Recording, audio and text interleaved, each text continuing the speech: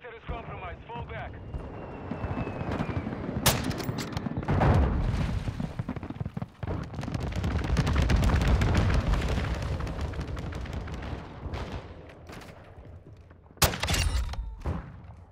The mission is nearly complete.